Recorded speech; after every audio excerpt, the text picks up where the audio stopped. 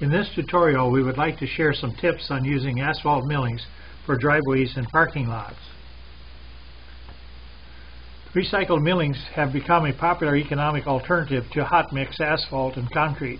However, getting a smooth, non-erodible, non-raveling, and non-tracking surface has been a challenge.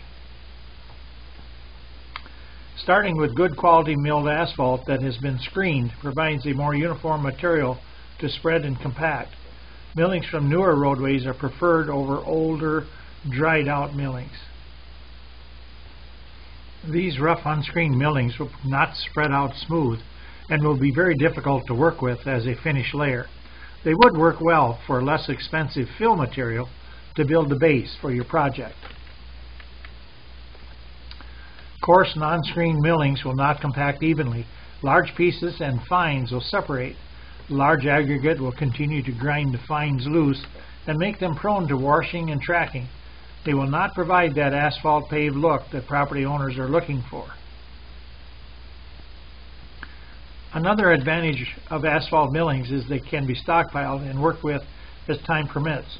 There's no urgency of getting them spread or laid as there is with hot asphalt or concrete. We recommend 3 to 5 inches of screened recycled milling spread over a good solid well-drained base. A good driver can dump and spread the millings in the desired depth you want, reducing the time and expense in grading and leveling the millings. Millings can be spread directly with dump trucks for large projects, such as parking lots, reducing construction time and expense. No specialized or large equipment is needed to place and level millings for your project. Here you can see you can use a skid loader, you can use a pulverizer that we have on our three-point tractor, uh, small compact tractors or medium-sized uh, tractors with a box blade, uh, Harley rakes or other pieces of equipment can be used to level and spread your millings. The disadvantage of raw millings is they tend to ravel. The fines tend to track into vehicles and buildings and can stain the surfaces with the tar in the asphalt. Millings are also subject to erosion from heavy rain causing ruts and ditching. This photo shows the most common disadvantage of using millings, which is erosion from heavy rains on steeper roadways and drives. Notice the ditching, which in some places is as much as 6 inches deep.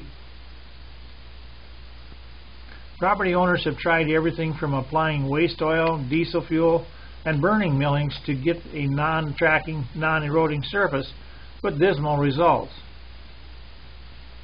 Some suggest pouring diesel fuel on the millings and setting the millings on fire, burning them to create heat to make asphalt sticky. This actually reduces the asphalt in the millings, which is needed to bond the aggregate together. Also, the heat rises and does not actually warm the asphalt, to any amount. Adding oil, gas, and diesel fuel to millings actually breaks down the molecular structure of the asphalt and also causes deterioration which allows moisture to enter the surface, setting it up for further failure from freeze-thaw cycles. We've all seen how oil drippings damage the asphalt and create pocks and holes in the asphalt at convenience stores or on streets where engine oil drips onto the asphalt pavement proving that the oil and gasoline damages the asphalt in the mix. So what is the solution to re rejuvenate the asphalt in the millings to bond the aggregate in the millings into a strong durable surface with that new asphalt look that everybody wants? we believe the answer is Hawk Seale E blend. It's non-hazardous, it's safe for the environment, doesn't kill grass or shrubs, birds, animals, or insects. It contains a proprietary blend of acid, copolymers, and binder that rejuvenates the asphalt and rebinds the aggregate in the millings. Incorporating Hawk Seale Millings blend will create a tight, durable waterproof surface and reduces raveling, erosion, and tracking. Hawk Seale blend was developed as an asphalt preservative. The first treated asphalt streets were treated in 1998 and still show no cracking or deterioration. The first Millings roadway constructed with Hawk Seale, was in Montana in 2002 as an entrance road into a light industrial site. The road has required no maintenance to date. In fact, Hawk Seale E blend streets thrive on traffic.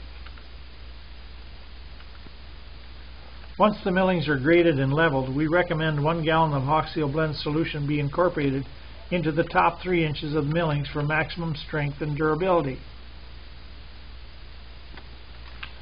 Property owners in Michigan regraded this street and then applied Hawk Seale E blend. This is the before photo of their street project that has required serious maintenance over the years, along with a lot of tolerance of the washing and ditching. This is a photo of the simple sprayer setup they constructed to apply Hawk Seale E blend. It consists of a 2-inch water trash pump, a boom constructed of 2-inch PVC, 80-50 fan jet nozzles 12 inches apart mounted in PVC adapters for half-inch thread, and mounted 18 inches off the ground. It has a couple valves to control the uh, solution going to the nozzles and also to recirculate the solution back into the tank. The 12-inch nozzle spacing worked out perfectly for them. Here the Hawk Seale blend solution is being surface applied. We recommend three passes to allow the solution to soak the millings from the bottom up. The first pass will use about half of your solution, the second trip will take less, and the third will take less than that. But by doing three passes, it allows you to make sure you get a, a good uh, coverage all across it allows you to identify any uh, spots that dry out quicker, which indicates more solution is needed. When applying Hawk Seale blend to previously compacted or driven on millings, we recommend compacting the millings after the application. We recommend compacting the millings three to four times in the first 24 hours. Compaction can be done with a roller or heavy smooth tired vehicle. This is a finished street after applying the Hawk Seale millings blend and recompacting the millings on that street in Michigan. Ideally, we recommend a gallon of Hawk Seale blend solution be incorporated into the top three inches of the millings. A disc or heavy drag or similar equipment can be used for incorporating the solution. Hoxseal blend will rejuvenate and soften the asphalt in the millings while copolymers and binders help rebond the millings to create a smooth, durable, water-resistant surface. You'll want to allow the treated milling sufficient time to set up before beginning compaction to prevent running and rippling on new millings. Millings can be compacted with a steel or rubber-tired roller or a heavy rubber-tired vehicle with smooth tires. Smooth rollers will provide a smoother surface and a better finished look. Hawk Seale blend softens the asphalt in the millings, which enhances the bonding. You will notice a cushioned feel as you walk on the freshly treated and compacted millings. This cushioned feel will disappear as the millings cure and harden into a durable surface in about 10 to 14 days. Colder temps may add another week to fully curing. Light traffic can begin immediately, though. Notice the rain puddle due to waterproofing of the Hawk Seale in this divot from a parked truck overnight. But during the curing, curing stage, you'll want to avoid heavy traffic, heavy farm tractors, and aggressive four-wheelers. And also, you'll want to avoid extended parking until the millings have fully cured. Here is a photo of a newly constructed Millings Road. The millings were placed over 4 inches of compacted 2-inch rock for a base and treated with 1 gallon per square yard of Hawk Seale E blend and then compacted. Hawk Seale products do not require high-tech equipment to apply. Pumps and tanks can be mounted on trucks or trailers. In fact, sprinkle cans can be used for small projects.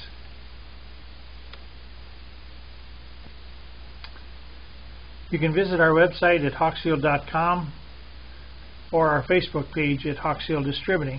And of course, you can email us at hoxseal@gmail.com We'll be happy to send you a quote if you provide us your dimensions and in your project, whether it's for preserving asphalt or for the millings. And of course, we're looking for dealers to expand our business. So with that, we hope you found this informative and look forward to doing some business with you.